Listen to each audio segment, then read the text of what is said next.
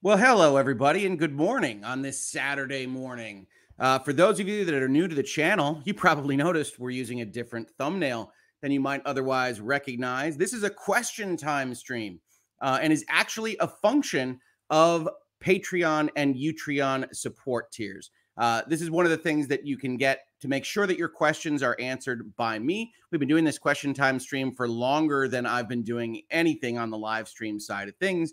Hangouts and headlines, of course, being the newest addition to everything here.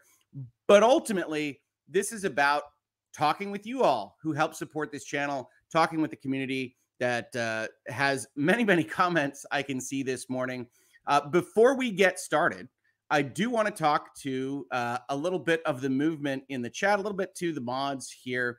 Um, this will and always will remain a reasonable minds can differ space, which means if you want to chat about whatever you like, uh, including some things that you'd like to ask me about, uh, I totally understand that. The main rules here are try to keep it clean within reason uh, in, in in the tech space, and absolutely no personal attacks, not on panelists, not on guests, uh, not on each other. Um, that's really the only bright line rule because personal attacks, ad hominem attacks, they are completely anathema to the reasonable minds can differ ethos uh, and that's that's what we love to do here. So, in a question time stream, what we do is we elevate the Patreon and Utreon supporter tier questions. Uh, we talk about them a little bit, and then afterwards, I talk to the community. Now, this community has grown a lot uh, since the last question time stream, and I know there are questions that a lot of people have an interest in. If you want to flag me with at Hoeg Law, I will see that more. If you want to use a super chat, of course, I will see that more. But I'm going to sit here. I'm going to take some questions. Generally speaking, these have traditionally been about an hour long. Uh, you know, we'll see uh, where it goes. I can't stay here as long as I do in a Hangouts and Headlines kind of setting, but I want to talk to you all. And I know a lot of you want to talk to me. So let's talk patron questions first. Why? How did you get so invested in the Depp v. Heard trial? Oh, come on, patrons. a lot, a lot of folks on the channel are like, why is Hoeg keep covering this trial? Why does he keep talking about these celebrities in this defamation suit? Uh, and the answer, as I think a lot of you know, uh, is that um, I have a friend on LawTube, Legal Bytes, Alyte, uh, who wanted to cover this. She announced this like, I don't even know, four months ago. She had the longest preview time uh, for wanting to do a trial that I had ever seen uh, in the space where we all communicate and she wanted to do this. Uh, and she, if you actually look up at my channel and you look up Legal Bytes uh, as you search my channel, you will see in December of 2020, right about when the cyberpunk fiasco was happening, that the uh, Alyte and Legal Bytes were one of the, if not the first guests on this channel. So go check out that video. You can see us trying to figure out how to even use live streaming, how to talk uh, amongst each other. And, you know, since that, she reached out to me coming off the Last of Us Part Two video that I made. Um, she reached out to me since that time. Um, we've all gotten better at streaming and talking and whatnot. Uh, but she said she wanted to do this. And I said, okay, fantastic. I want to back you up. I want to make sure that if I can help, you have the best content that you can uh, on your channel. And that was originally going to be popping my head in uh, and making sure that she wasn't alone broadcasting because if you go look at the first days of this trial we didn't have many viewers um, we had we had some but we didn't have a ton uh, and i really just wanted to help support my friend on youtube work through this on her first big trial and i'm very happy to say that i did that uh, and it got very very big indeed uh, and it proved to be an explosion of growth for her channel and i'm so so happy uh, for her and i think she's an important voice uh, and and force on youtube um, so that's how I came to start talking about it. When the trial went on break halfway through, I said, well, I've been told by a lot of people, including my fellow panelists, that I should do some live streaming stuff, that they think I have an okay presence. I think a lot of you do too. So I'm happy for that.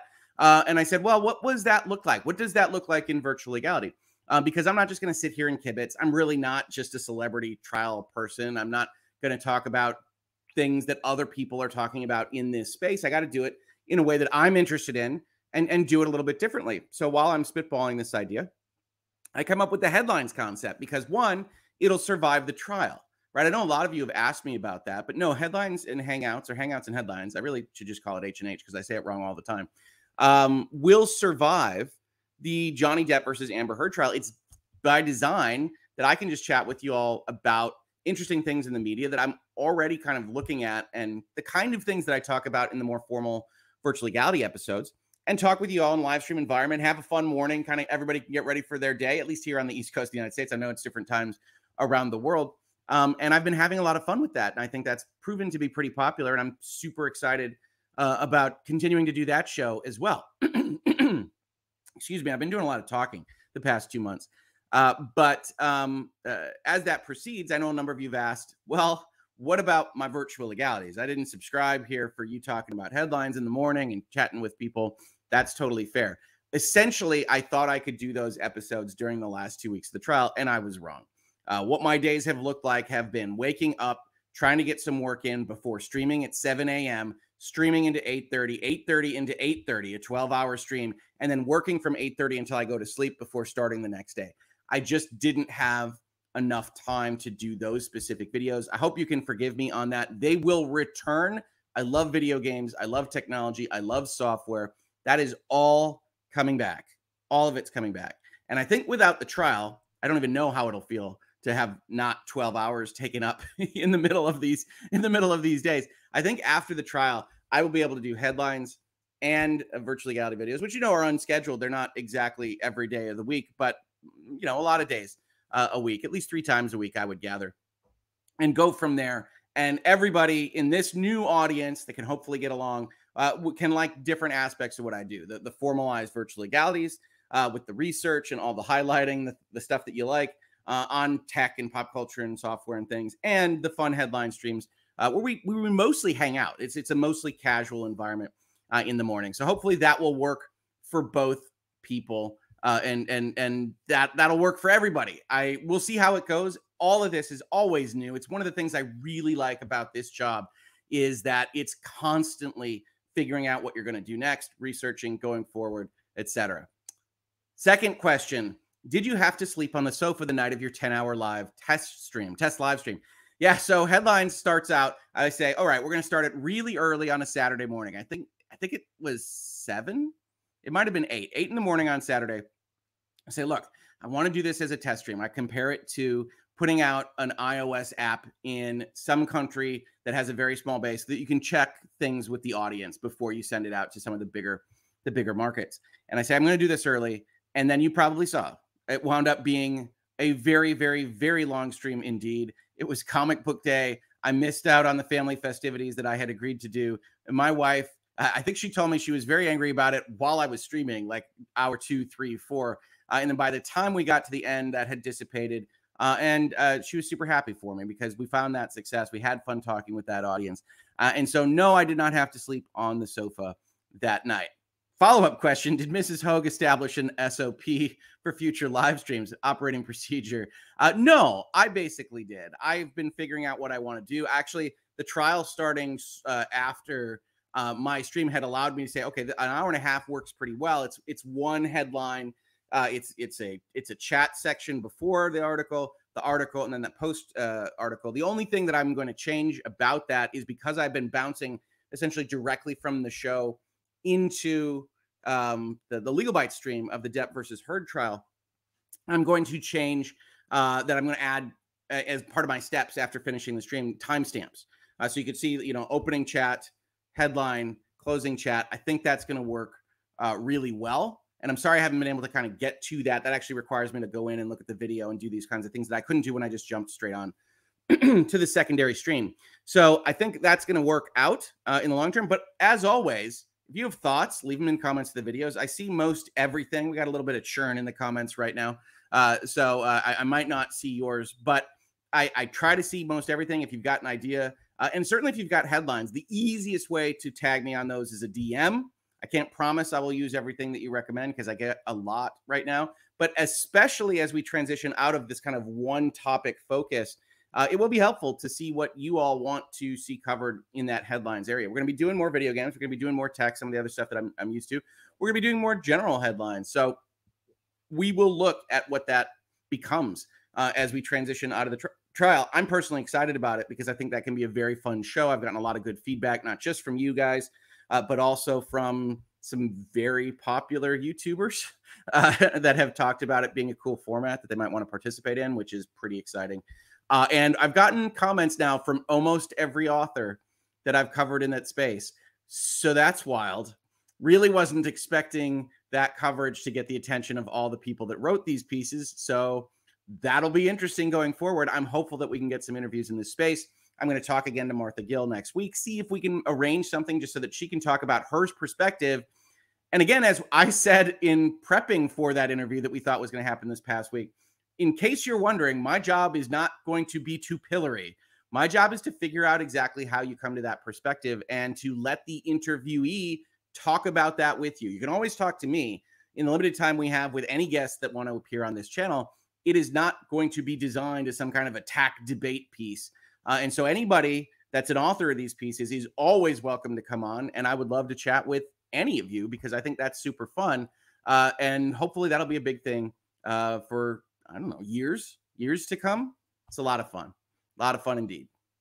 What is your favorite corporate buzzword? I think it's going to be synergy.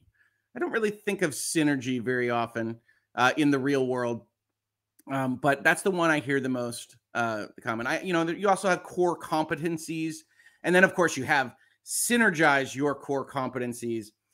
Corporate buzz speak is is funny. It's a language in and of itself. I don't it's it's just it's just amusing to me.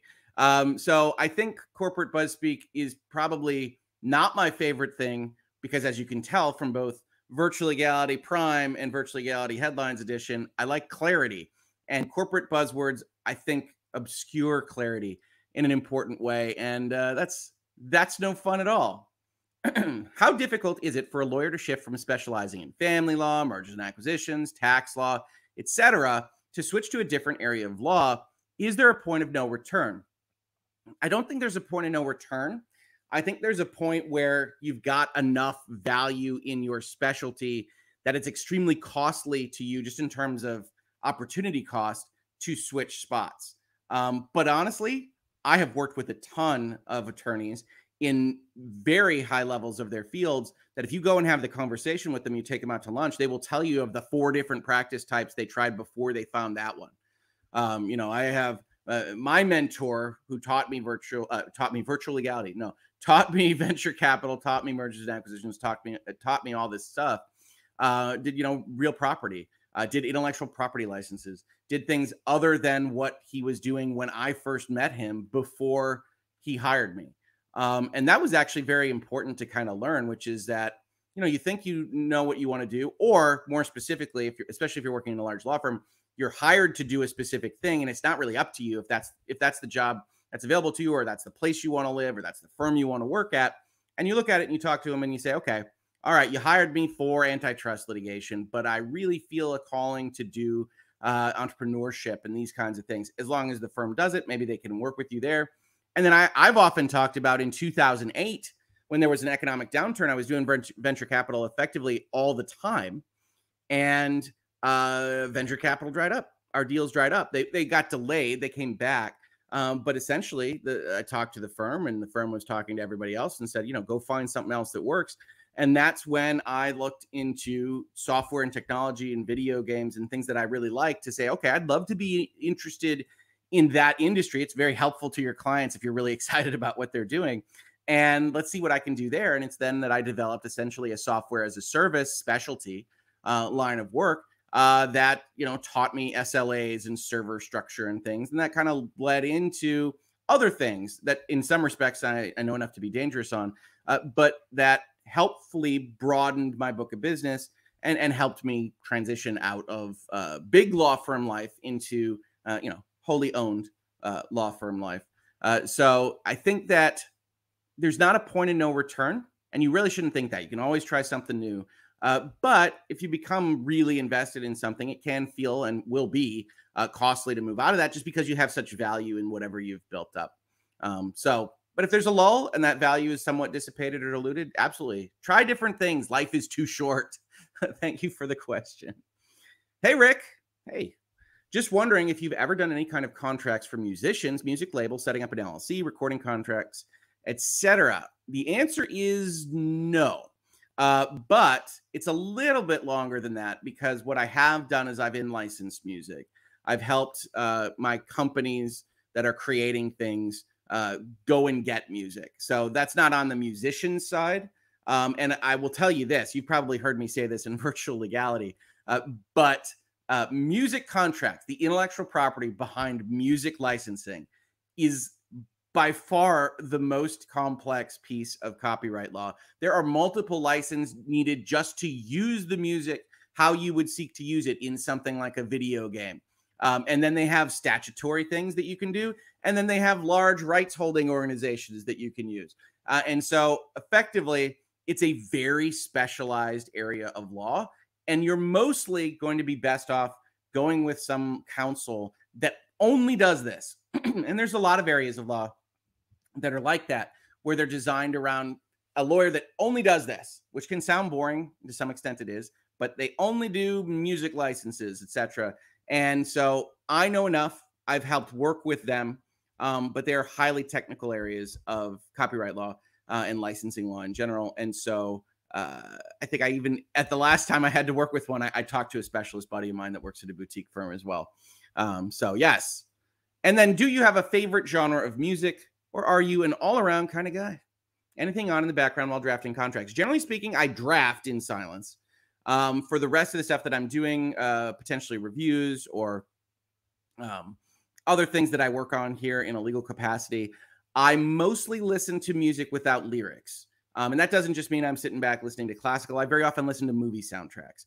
Uh, but lyrics, especially if you're trying to read through a 120 page legal document, lyrics can throw you. Uh, and so I'm listening to James Horner. I'm listening to oh, Hans Zimmer. I'm listening to John Williams. Uh, and listening to uh, sometimes famous movie soundtracks, sometimes more obscure movie soundtracks, uh, television soundtracks, video game soundtracks. Uh, although those uh, can be a little bit distracting as well because if you have a particularly fond memory of something, uh, you can you can get distracted from what you're doing. Uh, so that's what I'm listening to. Otherwise, I don't know what you would describe what I listen to.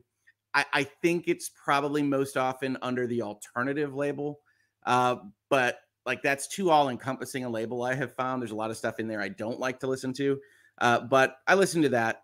Um, you know, I let's see, uh, you know, one of our wedding songs, if not wedding songs, but one of our one of the songs that we enjoyed uh, at our wedding a few years back was like "Boys Like Girls," that kind of thing.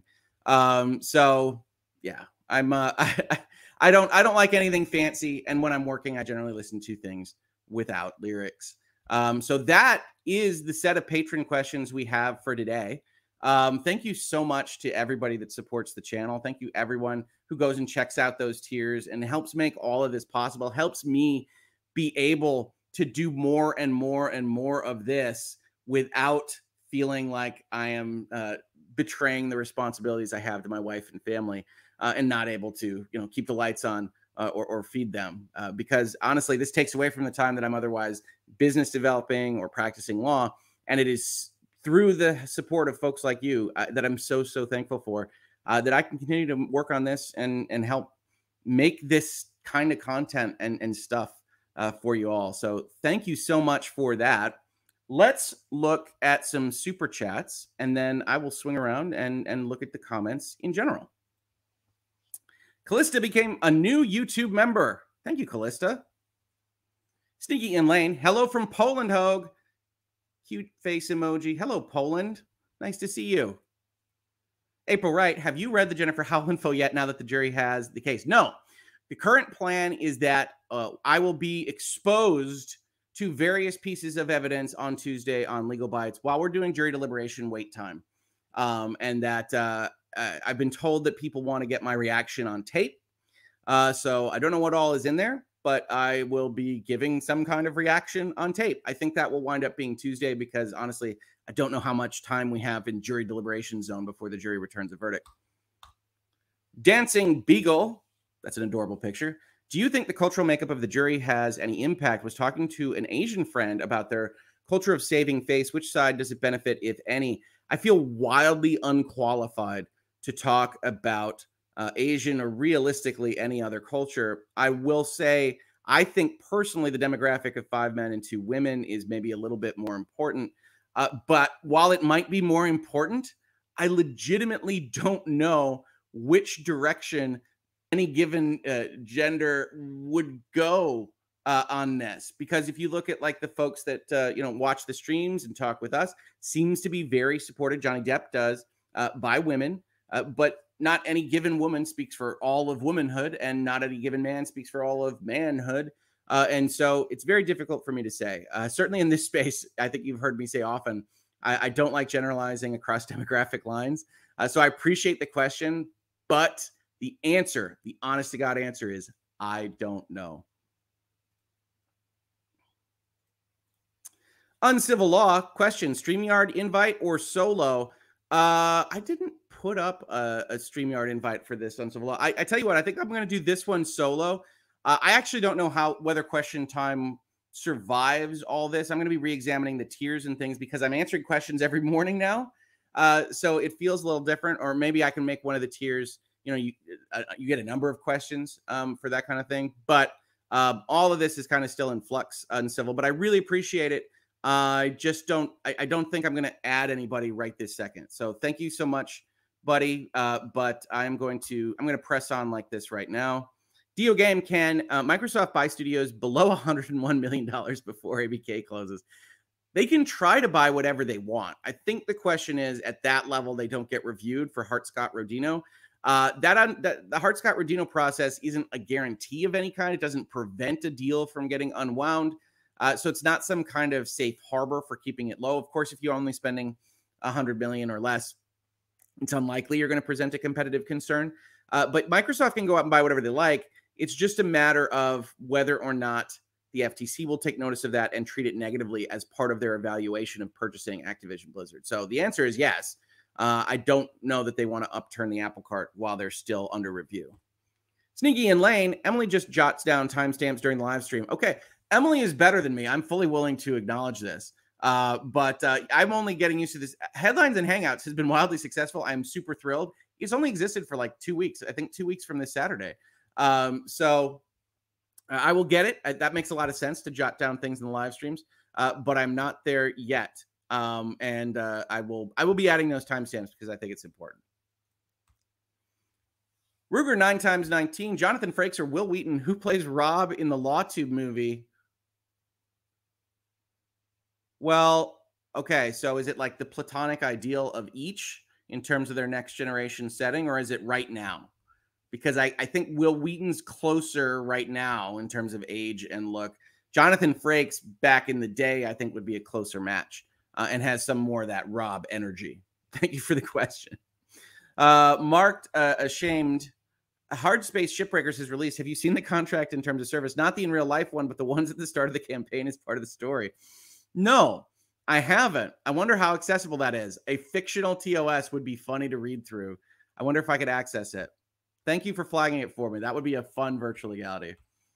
Janet Ridgway, I took your advice, bought an Xbox S. What should be my first game to try? Total newbie. Only game I played was Splinter Cell over 18 years ago. Um, it really depends on what you're looking for. What I would recommend is getting Game Pass for one month. Uh, it's 15 bucks, I think. Get Game Pass for one month. You'll have like a hundred options, and then you can look through those and try some things. Um, and I love Game Pass. I, I, I keep it on all the time. But do that, check that out, and get back to me because I'm super interested in hearing about your video game journey.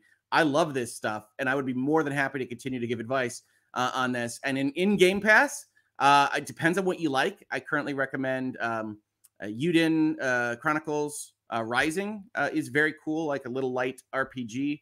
Uh, but there's so much good stuff in there. Uh, and it really depends on what you like. So if you give me a little bit more feedback of what you're interested in, t- in playing, I would be more than happy to give advice on that. I love trying to connect people with games they're going to enjoy. One of my favorite things in the world. Kent, where do I buy a Hoeg Law cap? Nowhere yet. Uh, this is a prototype from when I launched the firm uh, six years ago. Uh, so I uh, I don't actually have any, any more of these. Um, I'm going to look to get those. A lot of people like the Hoeglaw hat concept. Um, so I'm going to look to get those in a store of some kind. Uh, I really am thankful for you, you know, wanting wanting to get the hat. Uh, Oima, I'm so sleepy I can't figure out how to phrase this question, so forgive me if it's confusing. Do sports agents do contracts? Do they have to go to law school? I'm thinking Jerry Maguire type guys. Law, does that make sense? Most agents are lawyers. They don't have to go to law school, but as you can tell from those contracts, especially if you're getting big, successful contracts, um, it is very helpful to be able to read contracts in the way a lawyer reads them. Um, so definitely, uh, most agents are lawyers. I don't think it's a requirement in every state, but it is in a lot of them. Agents actually have uh, specific statutes for them in a number of these states uh, that are pretty interesting. Uh, so that's the that's kind of the long answer to your question. I think there are jurisdictions where you don't have to be a lawyer, but I, honestly, if I were a sports star, which I'm not, self evidently, um, I would want an agent that was a lawyer. Uh, Gizmo one, what is your favorite video game soundtrack? Oh my god. Um, I'm thinking it's the Final Fantasy VII remake soundtrack. I love Nobuo Uematsu's stuff. He's the composer for the real successful period of Final Fantasy. Final Fantasy is one of my favorite series, uh, and has really operatic vibes, very John Williams of video games. Uh, and Final Fantasy VII has a really cool soundtrack, but the original was made in you know old school musical uh, instruments synthesized and everything else. The remake takes it all, makes them orchestral, but still are based on some of the best songs of all time in video games. So I'm going to go with Final Fantasy VII remake. Apple pie. Good morning, Hoeg. The trial made me miss out on a rare fish yesterday in Final Fantasy 14. I'm sorry. On happier news, looking forward to Jedi Survivor. It looks cool, doesn't it? I'm I'm interested in it. I wish it were this year because I feel like I'm running out of things to actually look forward to this year. Uh, but um, yeah, it's it's it's very very cool. It's very cool. Oh, Angel Regal Gaming. What studio do you think Sony intends to acquire? Sony recently said that they're going to continue their acquisition binge. I, you know, I think whatever's next is more likely one of their technical uh, companies that we've never heard of before, somebody that does back end stuff. That's always more likely than some of the big names. But it honestly wouldn't surprise me once the Square Enix spinoff is done that Sony takes a good long look at Square Enix, the Japanese company that survives after getting rid of Eidos and Crystal Dynamics. That I think is a big is a good fit, even though I like thinking of Square Enix as putting out third party properties everywhere. So that's that's what I think. I don't know what they might wind up doing. Certainly, consolidation comes for us all here in the video game industry right now. Blurry Lights, where would I look to find out why the U.S. Supreme Court expanded the First Amendment to include defamation in 1964 if before then it was just a state law issue?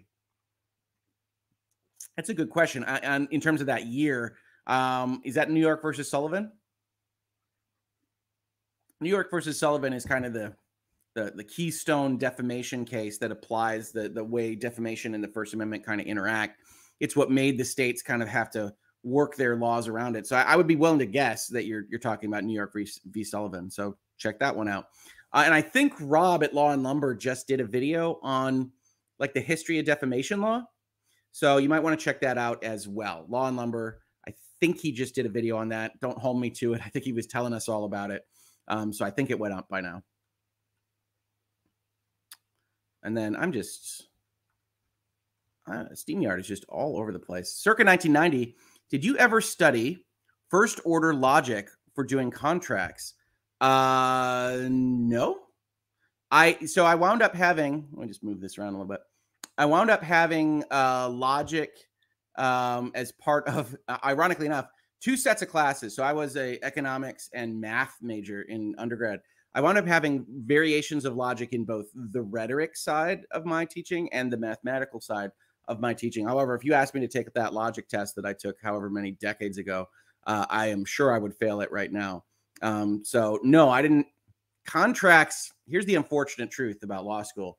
Um, I took a class on contracts, but for the most part, it's not the same as what you actually wind up practicing with, what you use as a skill set. Uh, so, law school, at least in my finding, which I loved, I loved the law school experience, was much better at um, theory kind of concept, critical thinking overall in generalities than it was on any kind of piece of skill that you'd otherwise use in practice from day to day.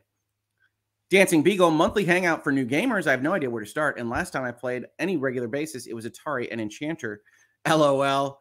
Uh, yeah, Yeah, no, we could definitely do something on the gaming side. I am uh, going to be working through trying to figure out how the logistics work for putting together a game of uh, you know Among Us or whatever else is is going to be fun to play uh, with other lawyers here on YouTube because honestly, I think watching lawyers play a social deduction game uh, and rib each other could be very very cool. Um, so I'm looking into that in terms of technicalities. I've never really streamed a video game, so we will see how that goes. Scrolling, scrolling, scrolling, and I think we're set on super chats. Did I miss anything? Uh, I think I think we're good on that. So let's just start pulling some questions here. Uh, in general, uh, let's see. Uh, I don't see any Hoeglaws here in the middle. Use Hoeglaw, um, and uh, you know we will we will chat. There's no requirement to pay me for for question time here. Happy to happy to chat with you all. Uh, Hoeglaw. I, I think it's one word as my at. Uh, Rebecca Clayton asks, at Hoeglaw, what do you think about either Apple, Amazon, or Disney possibly buying EA Gaming? I think it's a strong possibility. Well, I, I don't think Disney's a possibility. Disney worked with EA, and Disney doesn't want to be in the in, in the um, what do they call it? Interactive uh, technologies division, or that they used to have. I don't think Disney's at play. Apple and Amazon absolutely want to get a foot in the door on this kind of stuff. I think you may have heard me say in a prior stream I really feel like Netflix is your dark horse to come out and just spend some cash money to take something like EA. Netflix is working on this kind of thing, on getting into gaming much, much more. It would be a very interesting kind of power play for them, but they have all sorts of problems with their cash position uh, and, and business model. Uh, so thank you for the question. We do have some more super chats. Gio Rio, hi Hoeg. Funny how Patreon is a pledge and super chat a donation. they should have used that example, winky face emoji. Any thoughts on the upcoming Saints Row and Forspoken? Seen Jedi teaser. Uh, enjoy the weekend. Gaming controller. Saints Row, I believe in because I believe in Volition. I have not been as convinced by the trailer or the preview footage. I really like Volition as a studio, including Agents of Mayhem, which I know is somewhat uh, beleaguered in terms of uh, folks viewing that game. I think that's actually a cool little design. Uh, so I think Volition is a very good company. I'm looking forward to their output. Uh, Forspoken, I love Square Enix. I will undoubtedly buy it. I don't like the Luminous engine. I don't like the way it makes games look. I um, I'll play it. We'll see. I'm not actually very enthused about that one.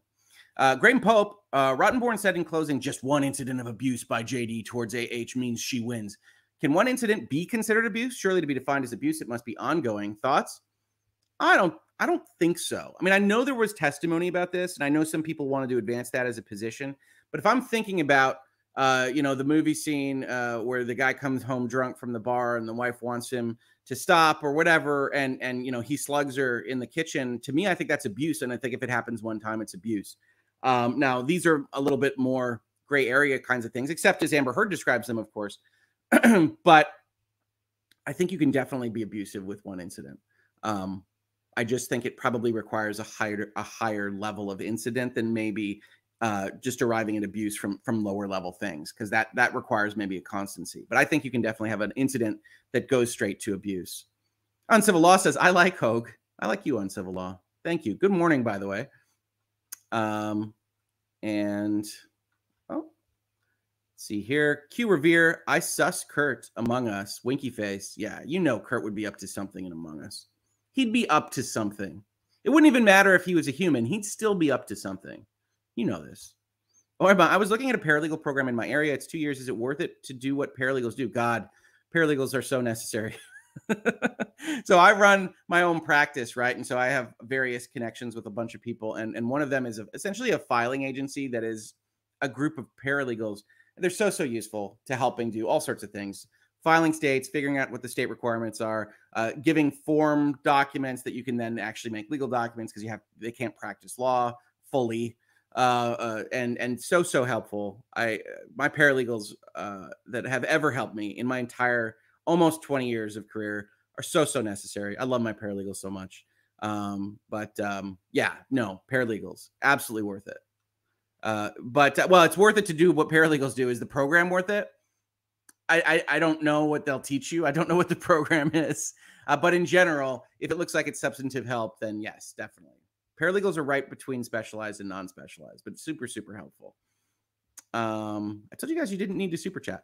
Uh, Shem Pasta, hi, Mr. Ho. Keep up the great work. I know Star Citizen is considered a scam. I use the phrase like, like it's not a real game and things because I find it to be amusing. I don't actually think at a legal level it's a scam. It appears that everybody understands what's happening with it. Uh, but um, yeah, it's it's not a functional product that's likely to release. I was also skeptical as well. Saw the vision and tech they were trying to invent, sucked me in. Would be great to get a second look at opinion from you. Thank you. Oh, so where this question goes is where I would leave off. And thank you for the very generous super chat. Um, yeah, Star Citizen is not going to release, not because it doesn't exist and they're not trying things, but because it essentially is more lucrative to work on making ridiculous tech and doing these things and not quote unquote finish than it is to ever finish, which means I don't think it's ever going to get into that wrap up phase. Okay, we've got the tech, now build it out into a game or planets or stories or whatever. I think they're just going to keep working on this kind of weird thing. And if that's what you're into, totally fine, totally great. If you're looking for a game at the end of the day, I think you are going to find yourself wanting.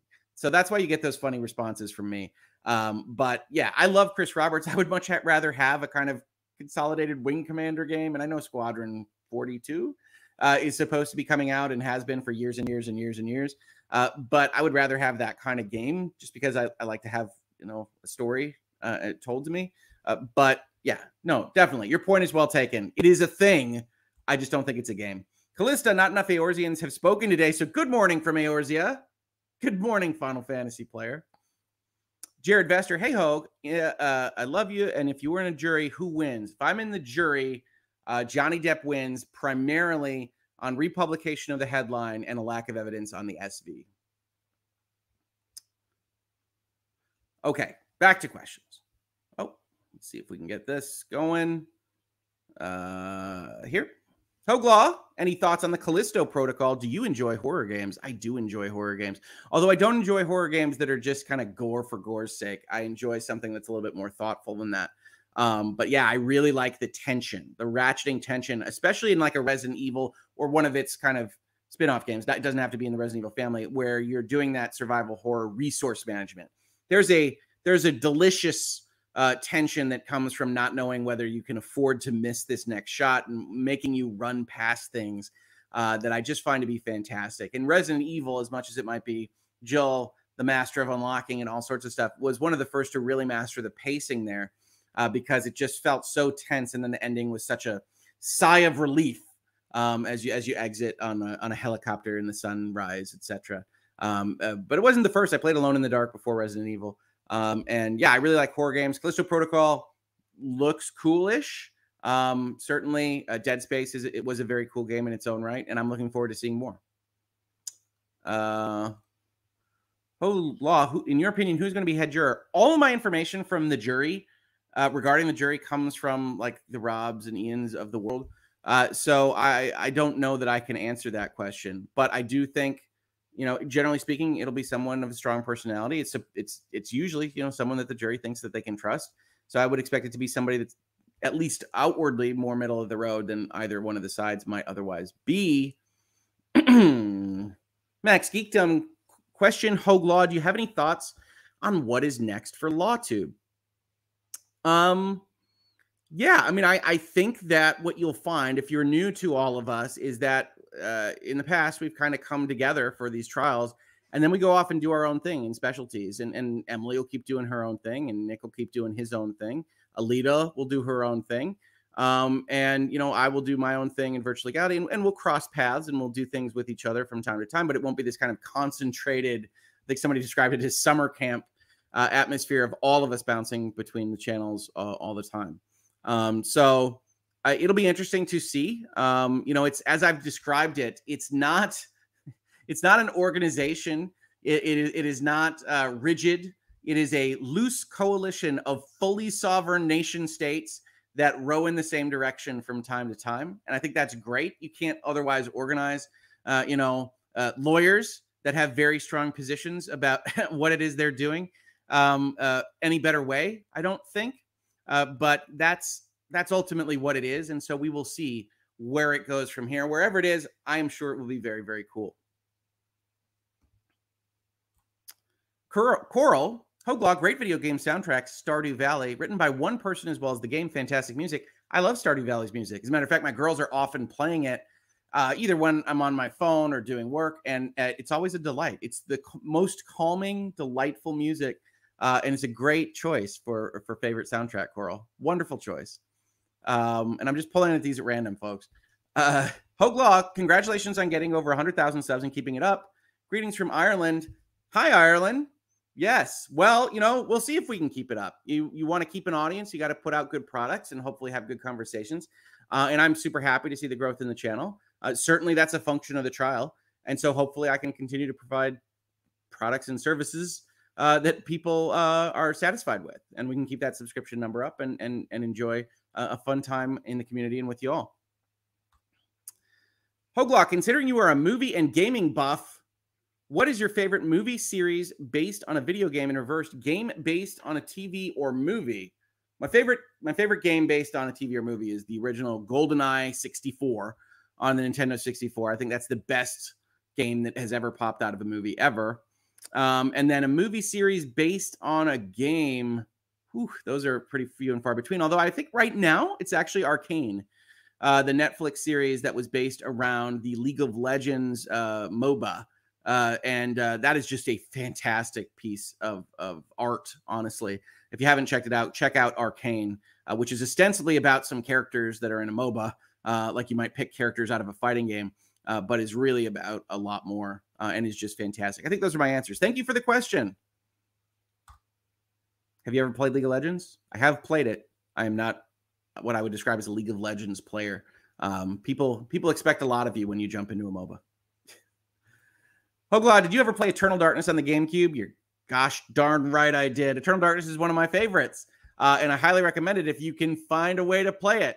Uh, Eternal Darkness is absolutely fantastic and had some of the coolest stuff. If you guys have never ever heard of this game, it's basically about a kind of Lovecraftian world in which the main character slowly loses her mind.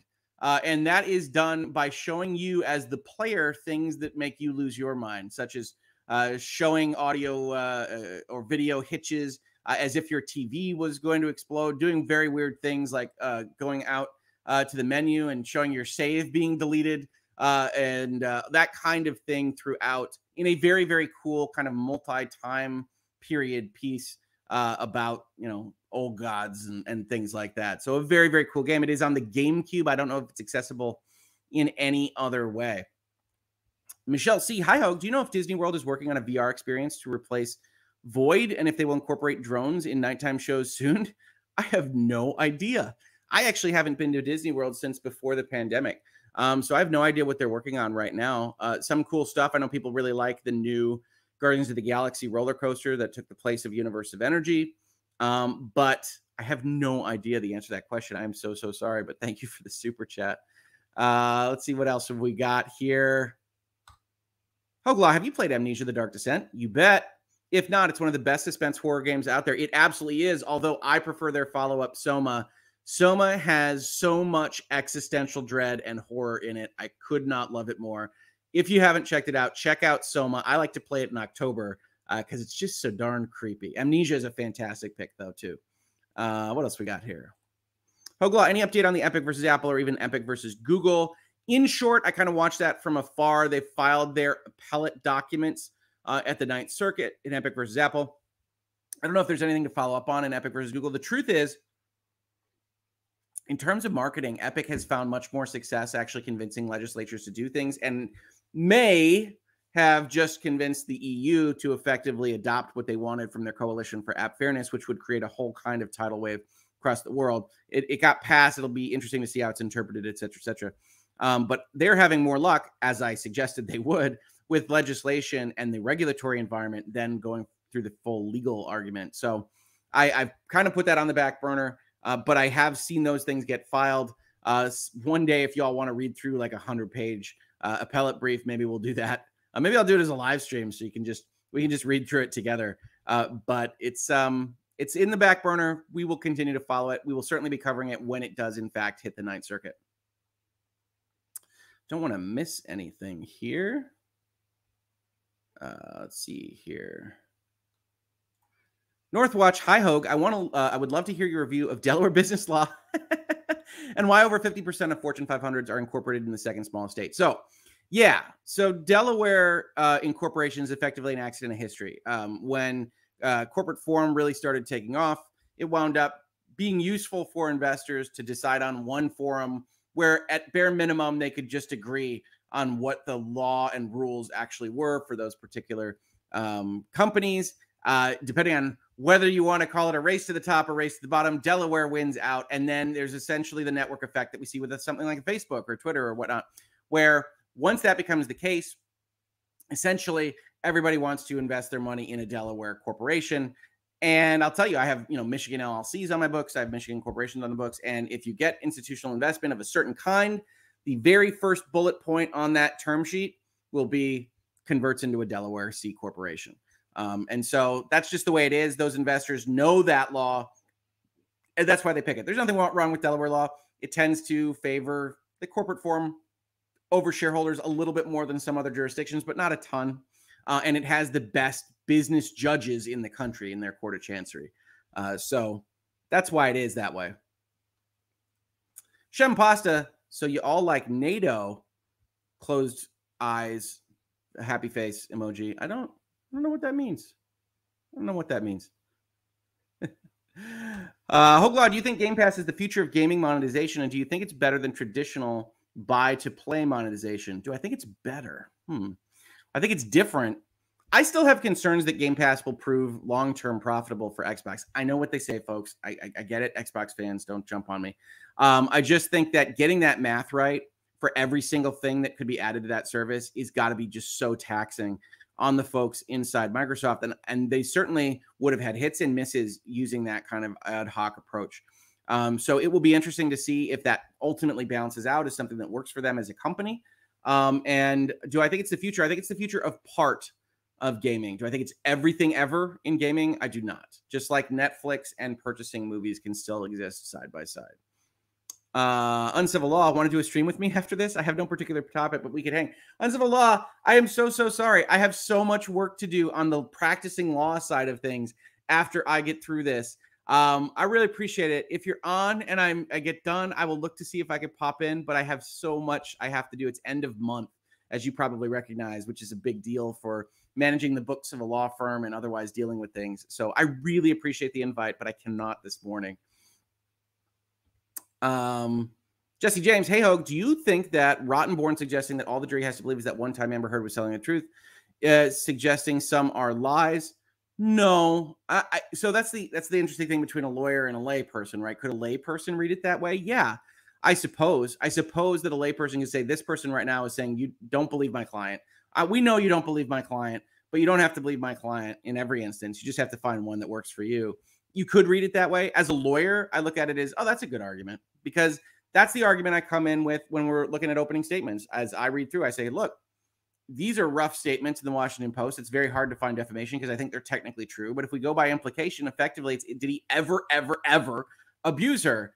And if he did, then the statements aren't false. Uh, and so Rottenborn rightly went with the legalistic, correct kind of argument in my mind. Uh, but at the end of the day, six weeks later, I think it's actually a referendum on do you believe Johnny Depp or do you believe Amber Heard? And I think it's very difficult to come off on the side of I believe Amber Heard over what Johnny Depp has presented. J Man Finest, since you love gaming so much and the music in it, I would recommend seeing the National Orchestra's gaming music was amazing when I saw it pre-COVID. I don't even know what that is. I've seen ga- video games live once. Um, okay, I will check that out. I do love it. Music is so so integral to the experience of anything, TV, uh, movies, video games, uh, and it's often undervalued uh, in my opinion. People just say that was good, and part of it is the soundtrack, even if they don't realize it. I love music in in in those kinds of uh, those kinds of media. I just want to make sure I don't miss anything here, and then pop into more questions. Gio Rio on Bitcast, you lately had the discussion about games and series. Any thoughts on Netflix going to make the Horizon series? I'm replaying Evil Within. Evil Within is a great one. I think that uh, Horizon can work as a series. I think they also announced a Bioshock movie that I don't think will work. Horizon is is kind of a standard adventure series. I, will be honest. I'll level with you. I don't. I don't know that I will much care for the Sony output here. I think Uncharted doesn't feel like Uncharted. I don't know whether they're going to be aiming for mass market appeal or something that actually feels like the products they put out. I suspect the former. And so I'm not holding out hope for it, but that low expectation can sometimes make the experience better. So I, am not holding out a high expectation for it, but that means that, hey, maybe it can impress me when it's actually done and released. Unilen, which Final Fantasies have you played? All of them. I think it's all of them. I'd have to really think about it. There might be one missing in there, like three. I don't. I don't know that I've played three a lot. Uh, could you please give some quick thoughts on each of them? That's a lot.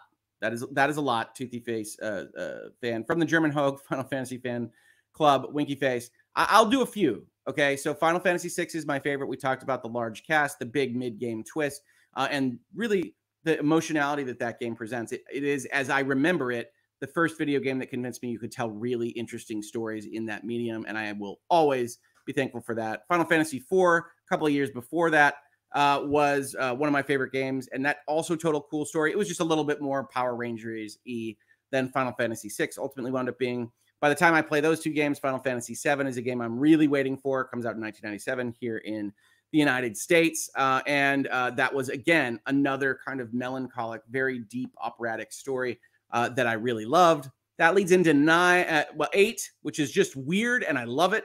Uh, but it is a very weird game that I remember playing deep into the night before a final that I had to take because you never know when these games are going to end. Final Fantasy X is even sadder than the rest of the Final Fantasies. Uh, and I, I have never quite liked it as much as others have. Um, so it's a good game that I don't adore. I think Final Fantasy uh, 11 uh, I only played a little bit of Final Fantasy 12 feels unfinished. Final Fantasy 13 I like more than most. Uh, Final Fantasy 14, obviously Eorzeus representing here in the chat, and Final Fantasy 15 is a game that uh, I enjoy more than any given aspect of, of its parts. It is it is better than the sum of its parts. It shouldn't work at all, uh, but it kind of does. So thank you for the question. I really appreciate it. Uh, Shem Pasta, bad joke on my part. I, I'm glad to have found this channel. Thank you, and again, keep up the great work. I don't know what the joke was, but I appreciate I appreciate the super chat. Uh, thank you so much. Uh, what else do we have here? Um, let's go back a little bit. What about offshoots like FF Crystal Chronicles? I have not played every Final Fantasy offshoot game. I can promise you that. I've not played all the Chocobo's dungeons or racing. I have not played all of um, uh, the the Crystal Chronicles, or or I, I, think there might be another Crystal Chronicles. I haven't played everything ever in Final Fantasy Land. Um, so yeah, and if you just heard me say uh, uh, Chocobo, it's because all of these games were written down before anybody told me that it was supposed to be pronounced Chocobo. Uh, so mostly my brain still goes Chocobo, uh, and I apologize for that. I know it's sincerely offensive uh, to many Final Fantasy fans. Lurker ERS, I saw John Williams directing a concert of his music by the Boston Pops. Bucket list experience. Very awesome. That is awesome.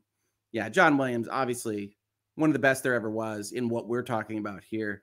Uh, you know, the music that accompanies pop culture. Uh, let's see here. What else do we got? Oh, well, how do you feel about free speech?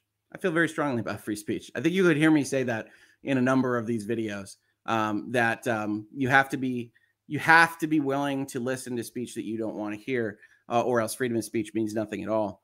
Uh, so I feel very very strongly about that. and it looks like we're just about ready to wrap this video up. Let's see here, Hoeglaw, you played Keep Talking and No One Explodes. Would love to see LawTube try to play it together, and it's perfect for groups over Zoom. Yeah, it would be. I'd have to think about. Yeah, it that would work. That would work. Yes, lawyers trying to explain things to each other should be very interesting. And yes, I've played that game. It's fantastic. I like playing it with my daughters. Uh, playing all those games with family members is always great because everybody hates each other at the end. Uh, very, very good. Yeah, and and as Disney technology, I'm sorry. Yeah, I don't represent Disney. I don't have any special. I don't have any special contacts within the Disney Corporation. And I, I definitely wouldn't represent Disney after the video I did about Walt Disney World. I don't think, uh, and their interactions with Florida. Check that out on the channel. Uh, but I do appreciate uh, you're believing in me that I have these inside contacts over there. Um, let's see what else we got here. Hogan and Civil, can I get both on my internet radio show one Saturday to talk law, music, and especially vinyl? If so, how? you know, DM us. Um, our DMs are absolutely full of stuff right now, uh, coming off of the trial, and so many people meeting us. Uh, but do DM us, uh, and uh, you know, we'll see. We'll see if that makes sense or if we can make the time work. Absolutely. Uh, Terry, thank you for your game recommendations. I'm now my 10 year old nephew's favorite aunt. That's what it's all about. That's what it's all about. That was actually one of my favorite parts when I worked at a big law firm. I had an assistant that would ask me these things, and uh, it was fun to it was fun to be like, all right, so what are they into, and figuring out uh, what to do because I, I love I love games. Uh, love you all. Is Alyte taking a day off? Stay cool. Sunglasses emoji. I don't know. Actually, I, I am. Uh, I, I have to talk with Alyte right after this episode. Um, Samuel Que. That is a chocobo, folks, or chocobo. Depends on which direction you're coming at from. Um, okay, so I think we're going to wrap this up. Hoeglaw, if you're pro free speech, then why are you against swearing? Aren't they just words that we are given? Yes, but decorum is also a thing. I have absolutely no problem with you swearing to your heart's content in your living room or otherwise. But this is this is the space that I am in, right? So if, if you just let anything at all go on, or if you let anybody at all, um, uh, you know, on onto a guest, if you just invite anybody, then you've you've lost control of what you want your message to be, or or controlling the space that you're saying it in, right? So freedom of speech includes the right to exclude, the right to control your platform or otherwise, right? Like that's part of freedom of speech. In fact, the reason that the Florida law is very likely to go down that would prohibit the Facebooks and the Twitters of the world from banning politicians is because it's an affront to their freedom of speech, which includes the right to ban, to modify, to exclude. Um, and that's a part of freedom of speech. Um, so why do I not want swearing? I don't much care for it. I don't think that it helps communicate the ideas that I want to have communicated here. I think it somewhat um, obscures reasonable minds can differ, and I have no problem with people doing it in any other space. So, in terms of that question, which I think is a good one, and I'm I'm glad that I get to kind of highlight it a little bit here. Um, it's important if you want to build something, if you want to build a community a specific way, if you want to have conversations a specific way and here in that kind of reasonable minds can differ kind of uh, avenue it's important to be able to know what works for you and what doesn't work for you and that freedom of speech includes all of those things and so you know if you're if you're busy swearing on my channel or swearing in the chat or what have you then it is fully within kind of even freedom of speech precepts to say okay you you should you should go a different place. You should go a different uh, area, and there are plenty of places to go for that. And I highly recommend it. Hell, go see Emily Baker, uh, who is awesome, fantastic, and her cursey words are what she's known by. Absolutely, um, it's not a it's not a blanket proposition. It's just what I want to be associated with, what I want this message to be, what I want this to be out there in the world, what I feel strongly about. But even then, you see Emily come on the channel and she lets out an accidental curse word. It's not oh my God, you're an affront to everything I stand for. It's, I know you're trying. And, you know, whatever. We make a joke about it. There are ways to deal with these things that are, you know, friendly and are trying to meet in the middle. Uh, and so, look, I appreciate what you're saying, but definitely controlling the messaging in your own platform in your own space is paramount to realizing my freedom of speech. Uh, so, thank you for asking the question. Um, and yeah, I don't. Uh, let's see. I lost track of where we are. We were. Uh, I got. I, well, put the Chocobo back up. uh, we got that. Uh, we got that. Favorite ant. Um, let's see here.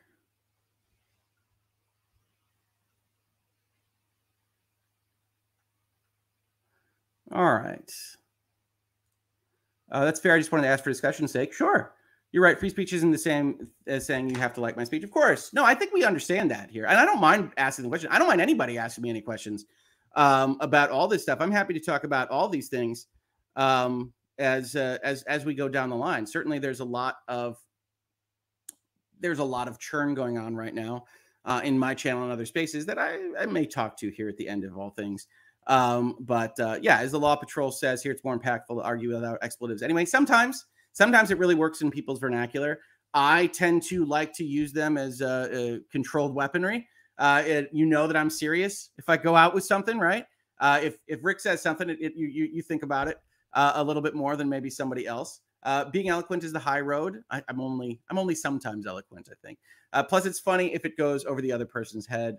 Uh, but yeah, you know, I it's just it's just the way I I want to operate. So there you go. Uh, let's see here. Um, I love the respect that you and Emily have for each other. You accept each other where you are. Makes my soul happy. Absolutely. Emily's fantastic. What would the world be like if you were stuck with only me to talk to or only versions of you? Right? There's a great Twilight Zone episode about somebody I think that wishes for everybody to be like him. And it's the worst. It's the worst. Our differences make this fun, makes conversation fun, even differences on very info- uh, important fundamental things. And we learn and grow by that kind of reasoned disagreement. Now, things progress into factionalism and ad hominems here on this space, and that's no fun.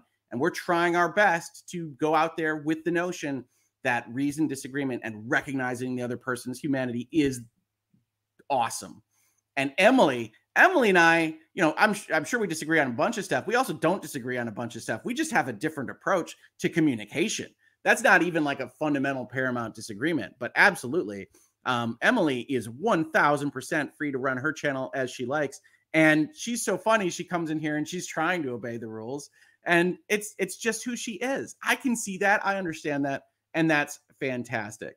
Uh, what else we got here? Well, we got the purple hearts because if you say Emily Baker, there will be purple hearts.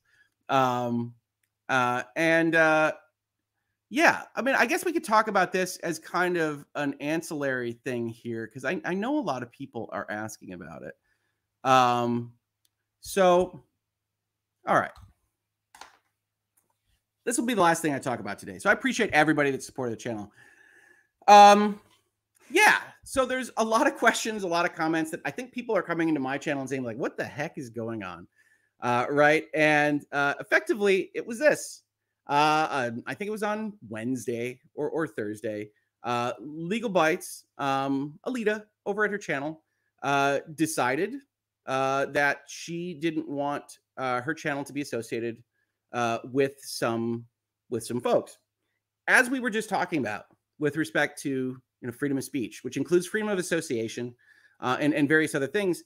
Um, she is entirely within her rights to not want to associate with some people. You don't have to agree with her decision, by the way, there, but it is not some broad faced injustice to say that someone doesn't have the right to stream with Alyte or doesn't have the right to stream with me uh, on this channel. I think you can all imagine in this space, if you really think about it, a personality that exists on YouTube.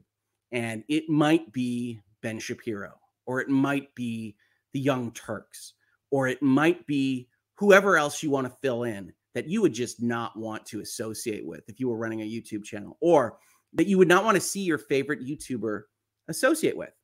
Um, and you might disagree with your favorite YouTuber on whether or not that association is granted.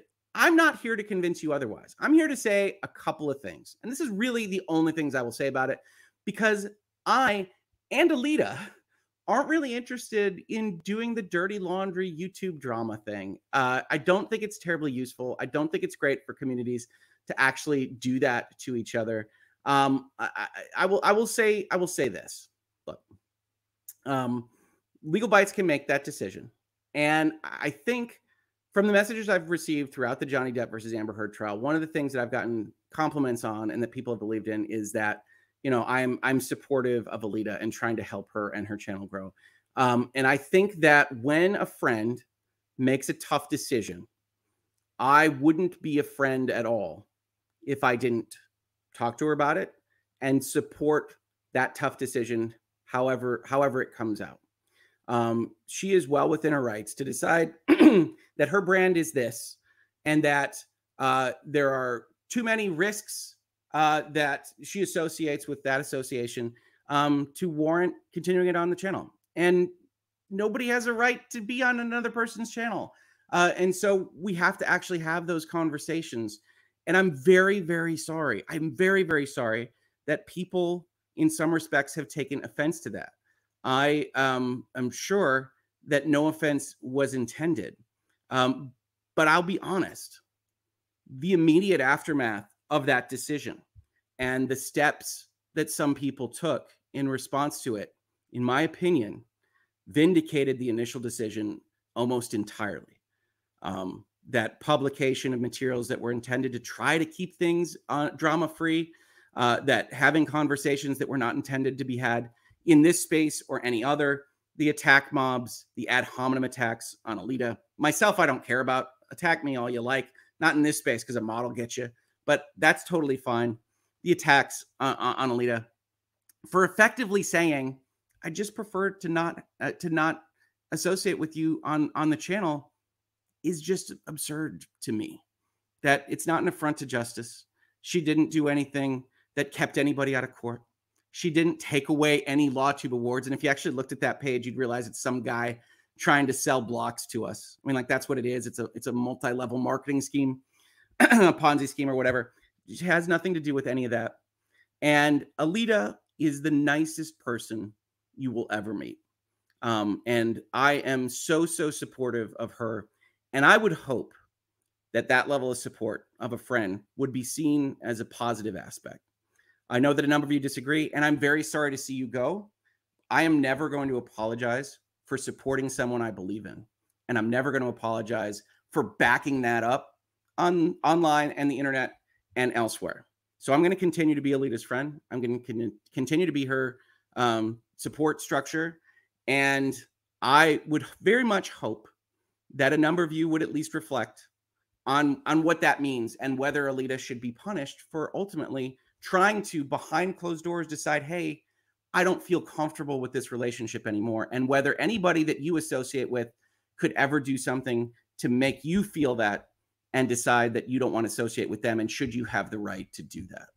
That's all I'll say about that. I'm not about drama. I'm not about to drag anybody. I'm not about to talk through the decision reasoning and why it was made because I talked to her about it. It was rational. She had good thoughts on why it was going to happen. It was still a tough decision. All of this has been realized on her. And I very much hope uh, that you give her the chance and respect that she deserves. Um, as for me, you're welcome to take it out on me if you would like. I um, I'm good for it. So that's what I will say on that. Um, and I very much appreciate everybody jumping in uh, to question time. I think there's one more super chat, but I'm going to skip it because I want that to be my end statement. I very much apologize. I'll try to answer you separately. Have a great weekend, everybody. If you're in the United States, have a great Memorial Day weekend. Uh, and many thanks to all the service that our veterans in the United States have given to us. Have a great one, everybody.